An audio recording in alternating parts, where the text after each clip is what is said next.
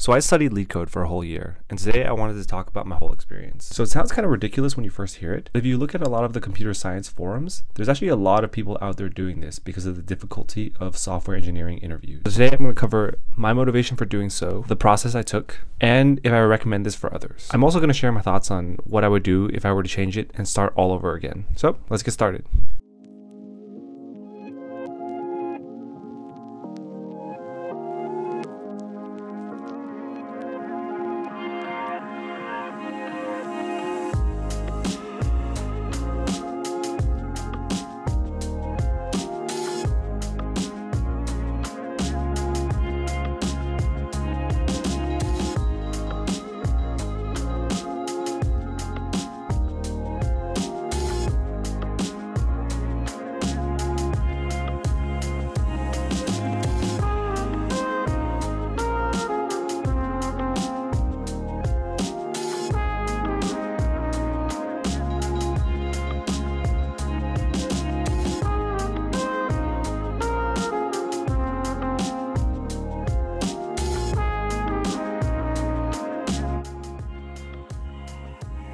So let's start with my motivation.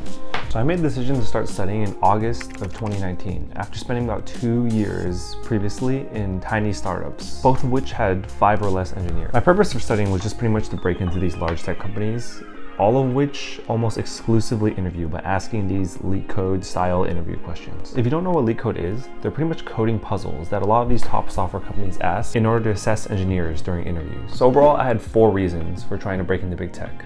Number one, I wanted to see how software works at big tech companies. Two, I wanted to increase my compensation. Three, I just wanted to meet more people that were kind of like me, software engineers in their 20s to 30s. And lastly, I was kind of just tired of working at startups and all the problems that come with them. Now let's talk about the process I went through. To preface this, I was a terrible computer science student when I was in college, and so my fundamentals were really terrible.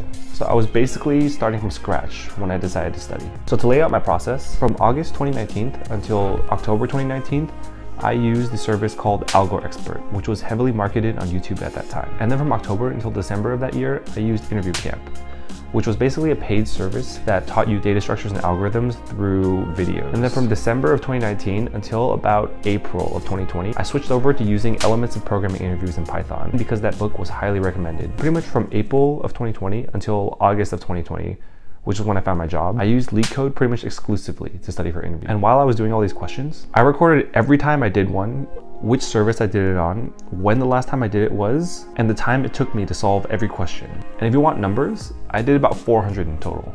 So now the question you've been waiting for, was it all worth it? I would say yes, but not for the reason that you think. The main upside of this for me was that it completely transformed my work ethic. Before this point in my life, I was a really bad procrastinator and I kind of did the bare minimum when I was in college. I never in my life spent this much time studying for a single topic for a goal that I set out for myself. So I laid out a plan for how to study. I set aside time every day after work from 5 to 7 p.m. and I dedicated myself towards my goal. And overall, it worked. I kept to my schedule, but my original plan was not to study for this long. The whole thing was kind of extended by the course of the pandemic. Now, would I do all this again? Quick note here, I'm going to describe how to do the whole process in the most efficient way, but if I were to do it again, I would only study for maybe a month.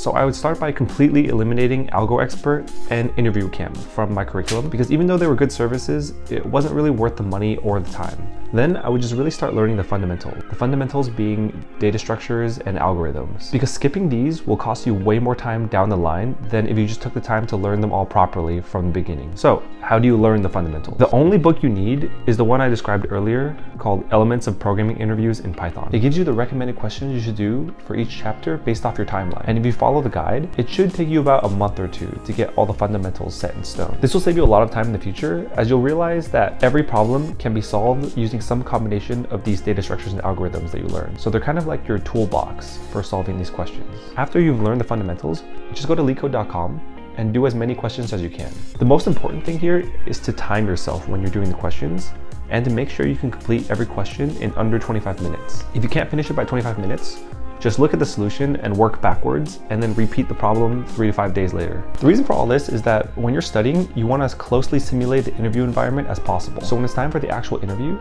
you would have already simulated the pressure of a real interview and you'll be much more prepared for the stresses that come with it. So now you're probably asking, should I do this myself? First of all, ask yourself how much you like programming and computer science, because if your answer is you don't like it that much, then this will definitely burn you out. I almost completely burned myself out during the process and during the interviews that followed, and it's pretty stressful process. Also, decide if you even want to shoot for top companies. If your only goal is just to work at any software company and maintain a job, then you probably won't need as deep of an understanding of these interview questions as much. Most of these smaller companies, like the ones I worked in previously, mostly just asked about my experience, and maybe in a very easy version of one of these questions. Something to note though, since the pandemic pushed most on-site interviews to be virtual, they've become even harder than they were before. I have two theories for this. The first one is that more people are studying now that they've been quarantined for a year and were at home most of the time. And the second one is that since programming interviews don't need to be done on a whiteboard anymore, you can code much faster on a computer than you could writing it down on a board. So these companies had to make their questions even harder than before to compensate for that. In conclusion, if you're gonna do this, make sure you're doing it